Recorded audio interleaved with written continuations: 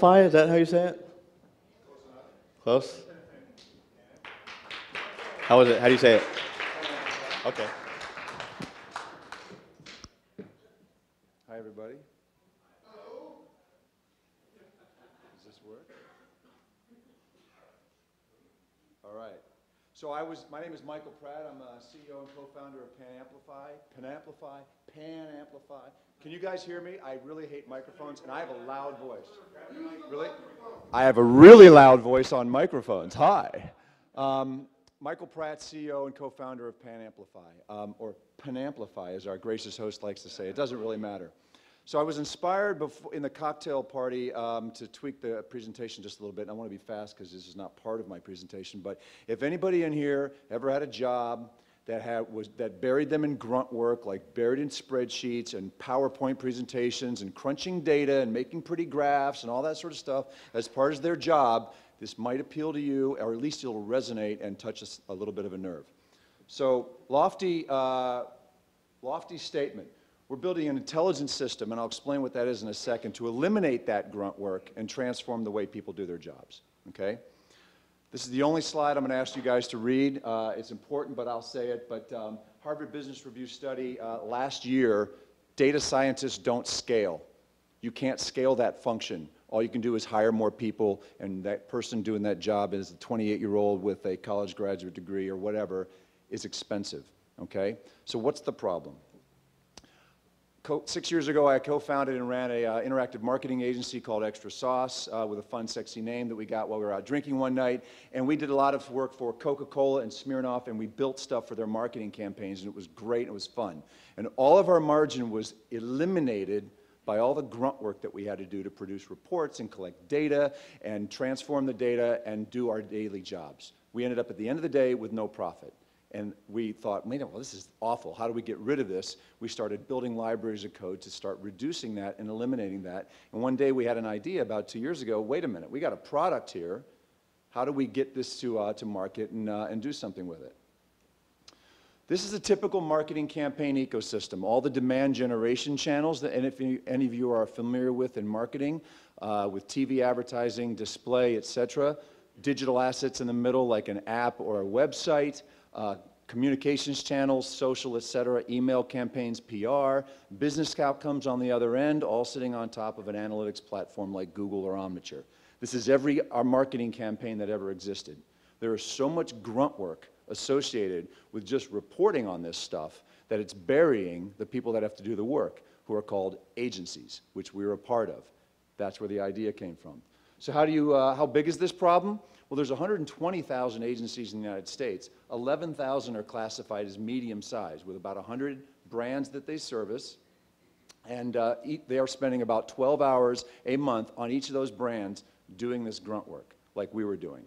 Okay? The rest of the agencies are small. There's about 500 that are classified as large, like Ogilvy and Saatchi and Saatchi, et cetera. So it's a big problem. It's a $3 billion problem in and of itself. How do you fix this problem? All right, you can hire lots of people. That's not a very cheap solution, and that's the only thing available to folks right now. Or you can build an intelligence system. What the heck is an intelligence system? It's actually a classified name for part of the artificial intelligence community. Google just released some details on its deep learning system, which is another subsegment of artificial intelligence. They scan millions and millions of photos and tell you what a puppy is. That's hard to do and really important. An intelligence system's not quite the same thing. They're used in like harbor and port operations to help the transform, uh, the uh, movement of, of uh, containers in and around the port onto trucks off of ships. That's not scanning millions of photos and identifying the puppy. It's a smart system that's like smarter than a monkey, but not as smart as a rocket scientist. That's what an intelligent system is. We took that and applied it to the grunt work that we were doing. So the system had to have that idea of what it was up to and what things meant. If you ask an intelligent, uh, excuse me, uh, the deep learning algorithm, how did you identify that puppy? It'll say, well, factor 642 had a result of 36.9, and that's what told me that it was a puppy. Nothing wrong with that, but there's no meaning in that to the human. In order to make an intelligent system, we automate the data collection, we automate the data processing along with that collection, and we automate the reporting that goes with it by knowing what the system is about. That 28-year-old analyst who has to take all that marketing information and produce a report for their client knows what a tweet is.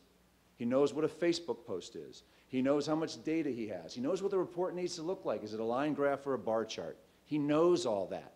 That's the model of the system. Most of that is grunt work for him to be an analyst that he was hired to be, or she. This is an example report uh, of something live that we did. It was about, it's about 10 months ago. There were uh, eight data feeds from uh, the demand generation side of it, including TV and display. There were two analytics systems that it was sitting on top of, and there were 15 KPIs in the top right. There was a lot going on.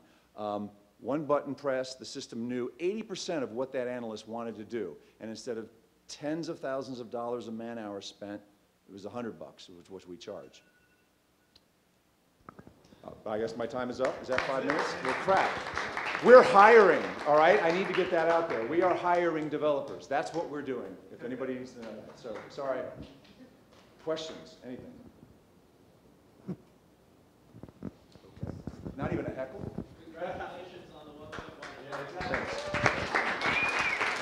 You can raise money in Dallas. There is money available. I swear to you. So, with your automated service, how many jobs in America do you eliminate and how many do you create? Not one. We don't eliminate one job. That's very, thank you for that. That's a really good question. We augment the analyst that, whose grunt work we're doing for him. We don't replace him. We're not a robot that's doing a spot weld on a car. We are, if you had someone come in and when all that grunt work you had to do and said, I'll pay you, I'll give you a hundred, uh, if you, for a hundred bucks, I'll do all of it for you. You would have, you would have dug deep into your pocket and given them a hundred bucks. You would have still done your job, but you wouldn't have had to crunch the data to make the spreadsheet, right? So we're not eliminating that job, we're augmenting it, we're giving it superpowers kind of thing. Thanks for asking that. But when you free up those resources, they're not gonna, they're not gonna let, let people, let people go? So take a wild guess at what they do with the fact that uh, they're not spending all those hours doing all that. They increase their capacity, which increases their revenue because they can handle more jobs, do, service more clients, do all sorts of stuff that they weren't able to do before. And, and surf Facebook more, so. Pardon me? And surf Facebook more, creating demand. The brand is the one buying the advertising. I can't stop that. That's what they do. But this is the first segment we're starting to uh, hit. The problem exists in, in wealth management and financial services too. Data, model, reports, stuff, grunt work, 28-year-old college graduates cranking it out. Very expensive. Do you see this as, um, I guess, a couple questions? There's some reporting tools out there like Raven Tools and whatnot. Sort of how does it compare to that? And do you kind of foresee it? Is it more API driven? Is it done just like creating modules or like if the, you know, sort of what, what would be the interactive piece of like how would I set it up personally for, um, you know, When the I is you're a user, okay. is that, I'm asking you, so you said how would I set it up? You're a user or you're a, Yeah, I work for a digital agency now, and I don't know. And I, yeah, he's we, not a plant, I swear. No, I know. So uh, we, it's like, yeah, it's how do you? I know what you mean. So it's, it's, um, you know, is it me setting up kind of a? I want to pull X data. Like, how much is it? Do I create, or how much is it kind of off the shelf? It automatically has this dashboard and. Excellent question. So uh, the question was, how do I use it as an agency user? You, you're running a marketing campaign. You know the demand generation channels. That's producing data. You're either going to upload data files or you're going to put logins into the system to say, that's where my data lives. You're going to say, I'm running a contest or a branding operation or whatever. You're going to describe what your objectives are. Anybody in here that's ever run a marketing campaign, if you say, I'm doing a contest, doing TV ads and display and Facebook, they go, oh, well, you probably care about this, this, this, this, and this. And they go, yeah, I do, but at our brand, we care about that and that as well. You say all that, the system goes, this is probably what you want. It, it, your, your onboarding takes 15 minutes. How, long, how fast can you type in logins and upload data files? It does the rest by understanding what you're trying to do. It's not analyzing your data. Doing your grunt work for you. Uh, I I just had a question about your pricing. You said $100. Is that for, right over here, i- i- is that for, is that like per seat? Or, and and then also, uh, it sounds like there's quite a bit of implementation. Are you outsourcing the implementation to the marketing users or the agencies and saying, here's the platform, go hook it up? Or are you guys, is that part of your service? Uh, we don't outsource anything. Um, it's all SaaS. It's all, uh, you just, the user logs on and, and, and inputs what they're doing and it does the rest. It's charged per brand. install. So an agency, a medium-sized agency has 100 brands that they service on average. That's 100 separate customers. You can have as many users as you want. The per-user model doesn't work. Uh, The amount of the ad spend doesn't work. Um, It's, it's per uh, brand. All right, thank you.